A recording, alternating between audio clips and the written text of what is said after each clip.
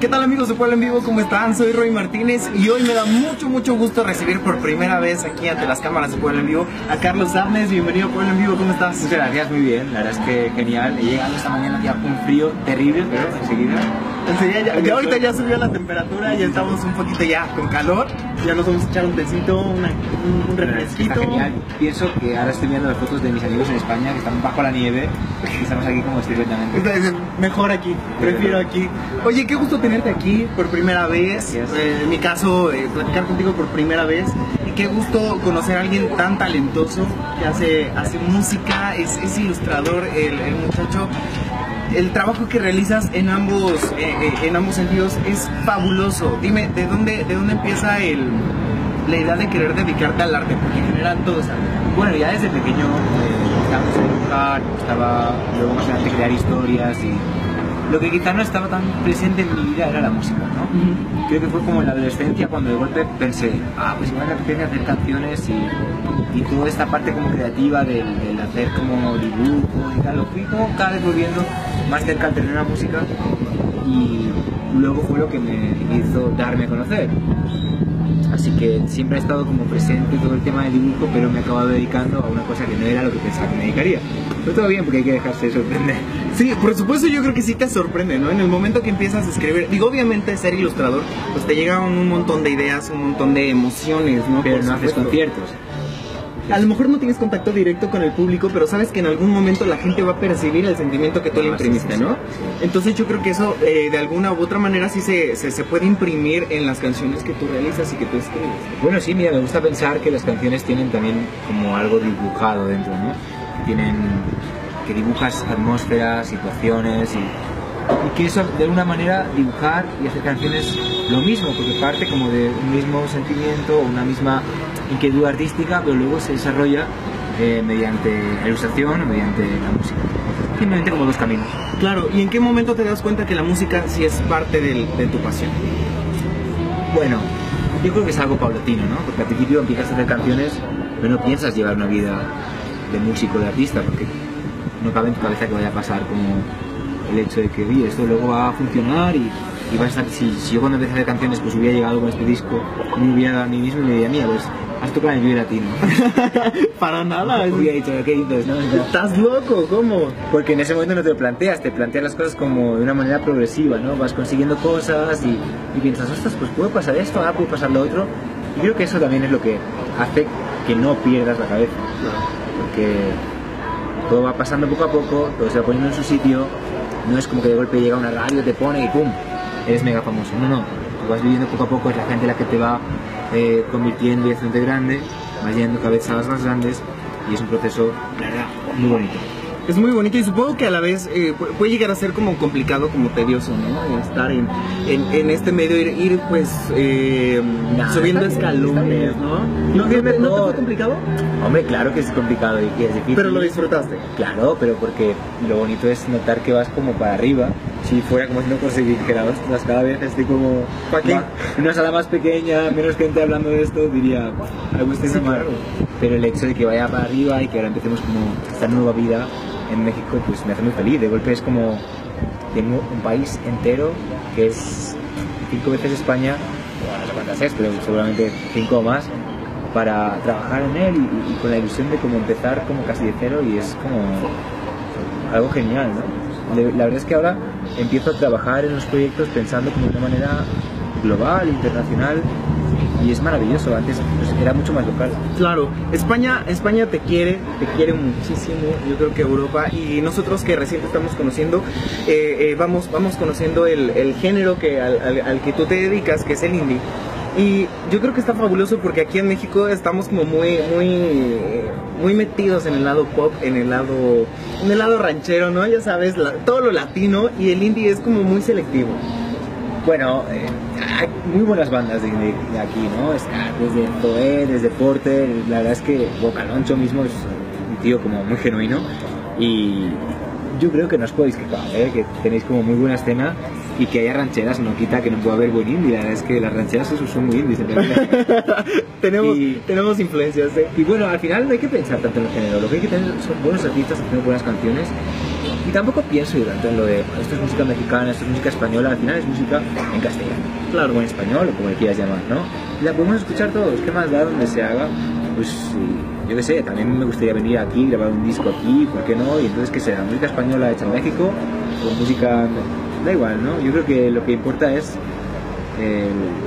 el sentimiento se comunica a través de una lengua que entendamos y creo que eso lo estamos haciendo muy bien.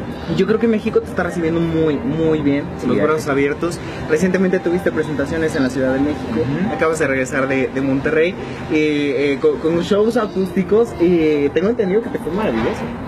Bueno, los acústicos era fácil porque yo vine de hacer tres lunarios que se agotaron en minutos, entonces lo del acústico, que era una sala de 100 personas y aire es como de 1200, era, relativamente fácil llenarlo, ¿no? porque ya sabíamos que habíamos hecho algo mucho mayor y lo lógico hubiera sido volver y hacer pues, un Metropolitan o algo así, pero quería vivir la experiencia del, formato acústico, del formato pequeño, de tener a gente cerca y el foro del tejedor, este lugar más pequeñito era una buena oportunidad para vivirlo.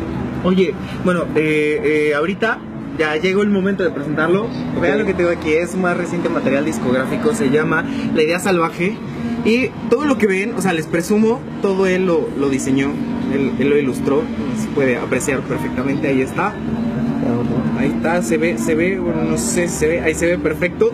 Y está increíble todo el trabajo que haces y creo que me parece muy interesante que tú, eh, aparte de, crear todas las canciones, eh, de, estar metido en la producción, de, saber qué es lo que quieres para tu disco, que aparte le pongas el plus que es tus ilustraciones, ¿no? Para que el mundo conozca algo más. Sí, a ver, tampoco pienso que un artista que no dibuja sea menos artista por no hacer el arte de, de sus discos. Pero hay muchos que no, o ya, sea, que, que bueno, dicen, bueno, ya alguien más que lo haga. Sí, pero está bien también eso. Lo que pasa que, bueno, si a mí me gusta también este mundo, pues creo que al final es una manera de introducir un poco más de tu personalidad en el proyecto. Pero respeto a la gente que lo manda a hacer y, y no te digo que yo el siguiente disco pues no le diga a un diseñador, oye, escúchate esto e interprétalo a tu manera porque no tengo yo el viaje en la cabeza como para hacerlo, lo que sea. Así que bueno, es algo que me gusta hacer, pero que no, no es imprescindible, porque al final la música es música y cómo la adornemos es algo secundario. Yo creo que siempre sí, tienes toda la razón. Platícame un poquito acerca de este disco, de qué trata en general. ¿Qué, qué, qué impresiones trae? Yo digo que es un disco galactropical porque tiene como un viaje galáctico pero en esa galaxia, en vez de encontrarnos a planetas vacíos y desérticos, pues existe como un paraíso de, emociones, de, cosas exóticas, que este es un disco que no tiene lugar, ¿no? Habla de Barcelona en algún momento, pero habla también de la galaxia, de encontrarse, de desencontrarse. Creo que es un disco muy bailable, pero que por otro lado es, emocionante. Y, y, para mí era un desafío, ¿no? Hacer canciones bailables, pero que a la vez fueran emocionantes. Creo que no hay tanto tanto, tantas propuestas como que consigan esas dos cosas y me empeñé en, conseguirlo. Son 11 temas de los cuales tú estuviste en todos, sí, los tú creaste todos, entonces 100% un disco tuyo y eso está maravilloso. Y aparte, recién estamos estrenando una, una nueva canción que ahorita, eh, antes de, de, iniciar a grabar la entrevista, le, le, pregunté que de dónde iba a salir, si le vamos a tener como bonus track o qué pasó. Se llama Amor Papaya. No responder, Que tiene ¿eh? toda una historia. Esa, esa, canción tiene toda una historia, ¿no? Sí. Que se empezó a desarrollar entre, entre WhatsApp. Sí, WhatsApp. Es que, Cuéntanos.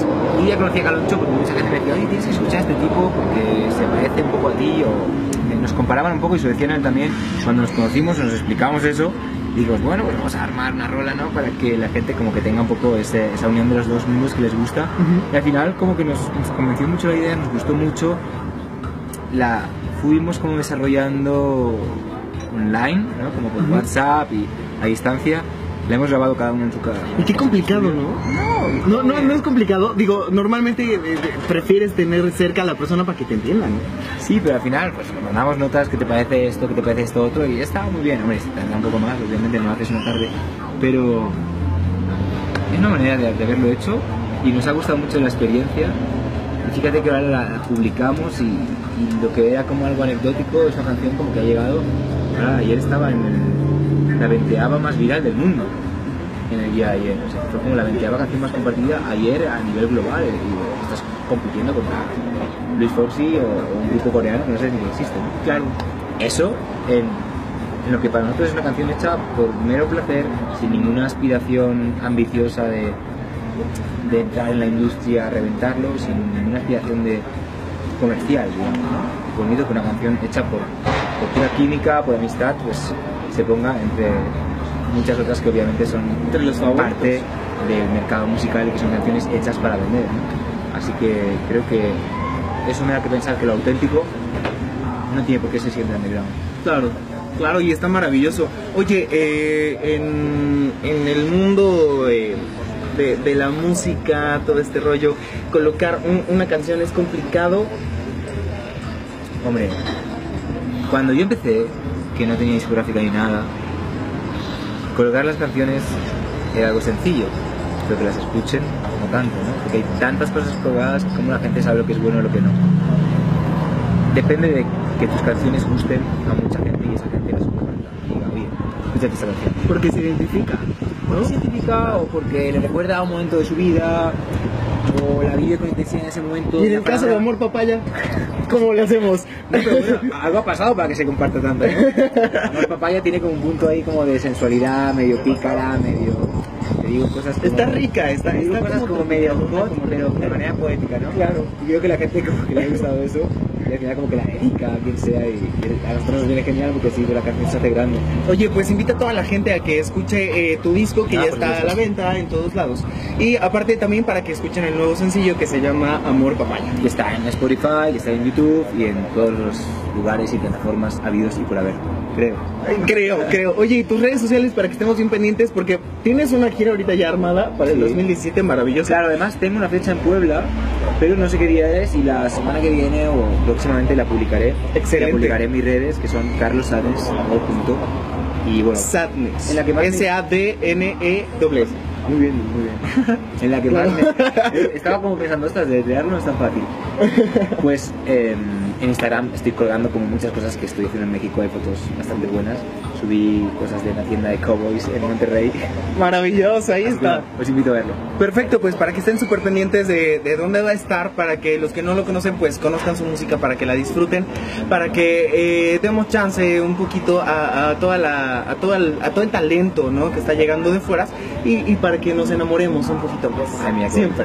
De, de la música, de, de eso que nos hace soñar. Muchas gracias por Y platicar que conmigo. las canciones para enamorar. Ah, por supuesto, por supuesto, tenemos un montón. Muchas Bueno. gracias, Carlos. A ti, hasta pronto.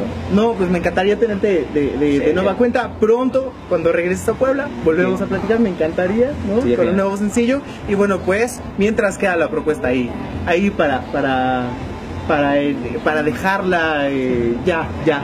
La dejamos en el Para aire. verla, sí, sí, sí, pues ya, para que no se nos olvide. Y pues yo les recuerdo que eh, nos visiten en nuestro Twitter, estamos en arroba pueblaenvivo.com, ya saben, el Facebook es eh, Puebla Espacio en Espacio Vivo, ahí denle manita arriba, recomiéndenos y compartan nuestras publicaciones. Muchísimas gracias, estás en Puebla en Vivo. Te-